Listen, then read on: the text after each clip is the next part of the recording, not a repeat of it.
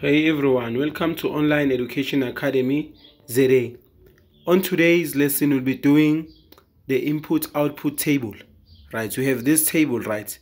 So the input is what? It's n. We have 1, 2, 3, 4, 5, 6. Now we want the value of the output, which is the value of y. Output. So we have a formula says y is equals to 3n plus 2 so in this case, we want to find values. When we put 1, we want to find the output. What is the output? So in this case, we'll then say y is equals to, we use the formula 3n plus 2, right, which is going to be equals to 3 in place of n, because n is what is the input, we'll put 1. 1 plus 2. So we're going to say 3 times 1 is 3 plus 2, we should get 5. So 5 is our first answer here. We'll have 5 when our y is 1. Then we'll go on and say y is equals to 3 n plus 2 which is going to be equals to 3 then we put the second input. The second input is what? It's 2 and in place of n we place 2 plus 2 3 times 2 it is 6 plus 2 it is 8 so we get our answer is 8 so 8 is our second input. We have 8 here and then we can have another one, which is y is equals to 3n plus 2. We want the value of y. So the third one, it's 3. When y is 3, we're going to have 3, 3 plus 2, which is going to give us 3 times 3, it's 9, plus 2, it's 11. So we have 11 as, as our is our output. So we have 11 so this is how you work out the input output table. So when when n is equals to 1 y is 5 when n is equals to 2 y is 8 when n is equals to 3 y is 11 then we have let's have another one. Okay we have another one. Y is equals to 3n plus 2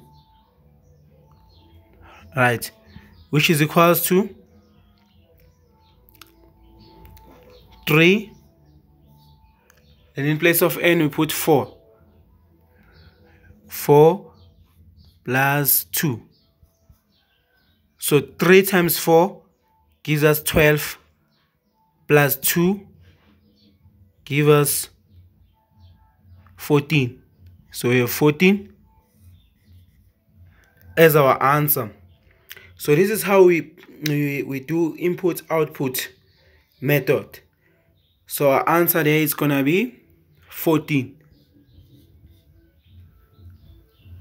right. So we have another one when y it is 5 so let's say y is equals to 3n plus 2 which is equals to 3 then we'll put 5 in bracket plus 2.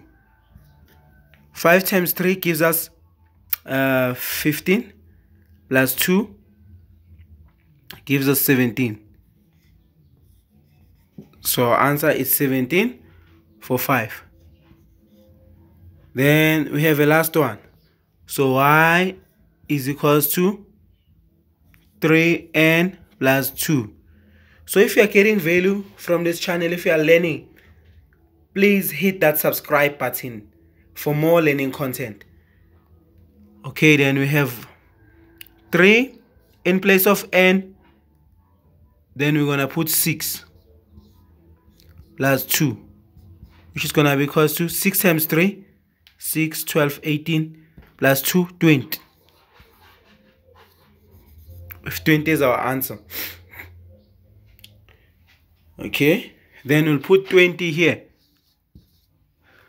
So this says for the formula y is equals to 3n plus 2. When, when n is 1, our, our output, when our input is 1, our output is 5. When our input is 2, our output is 8. When our input is 3, our output is 11.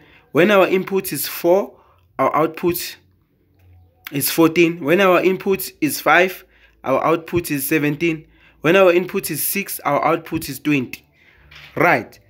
So, okay, this is how we work it out. y is equals to 3n plus 2. We want the value of y because we are given the value of the input. We want the value of the output. Okay.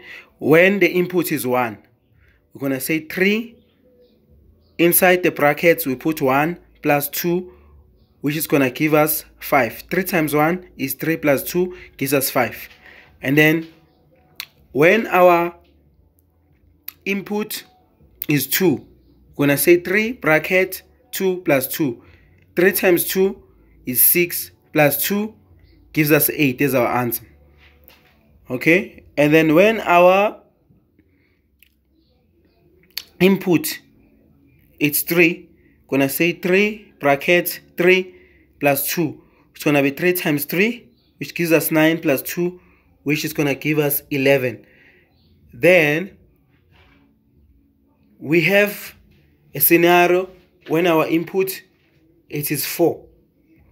Right, we're to say 3 bracket 4 plus 2, which is to be give us 3 times 4, 4, 8, 12. It gives us 12 plus 2, which gives us 14. And then we have another scenario when our input is 5. 5 times 3 is 15 plus 2, 17.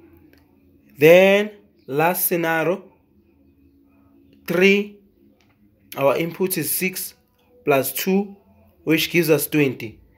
Please subscribe for more learning content. This is how you do input output method in a table. Please subscribe for more learning content on Online Education Academy ZA if you are getting value from this channel.